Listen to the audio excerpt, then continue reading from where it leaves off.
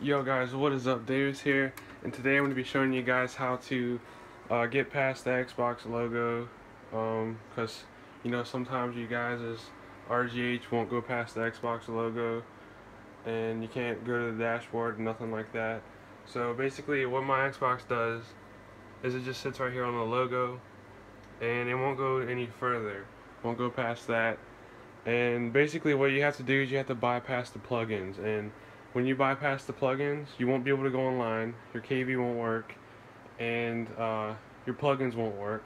Because usually when this happens, you can't go past the Xbox logo, it means that your plugins are bad, and it's causing your Xbox to not go past the Xbox logo. So uh, you basically want to get rid of the bad plugins. So I'm going to show you guys two ways on how to do this. So we're going to turn our Xbox off, and this is the first way you're gonna uh, turn your Xbox on and then you're gonna press the eject button. And that'll bypass the plugins.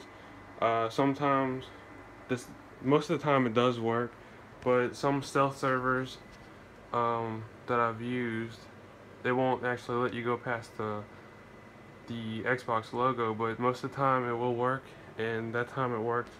Uh, my plugin that plugin loaded for some reason but anything else won't work. Um, if that doesn't work then this this fix that I'm about to show you guys right now will definitely work. It'll, it'll fix it for sure.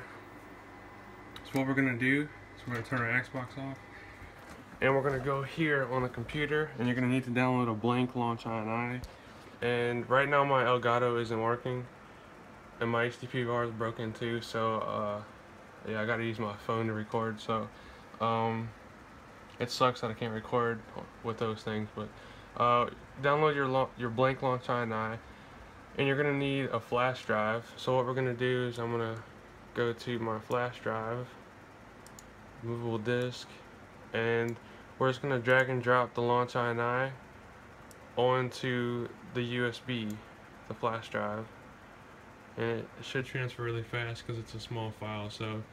Um, it has to be on the root of your flash drive. So just make sure that it's on the root and it's not in any folder or anything like that. So uh, once that's on your flash drive just X out of that grab your flash drive which I have right here.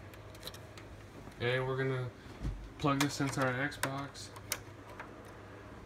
As you can see it's in there. And then just turn your Xbox back on.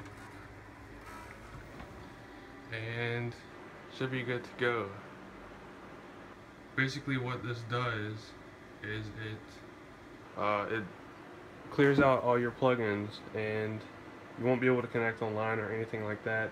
It's a blank launch INI, so ho hopefully you guys will understand what that means. But anyway, guys, this this should fix it.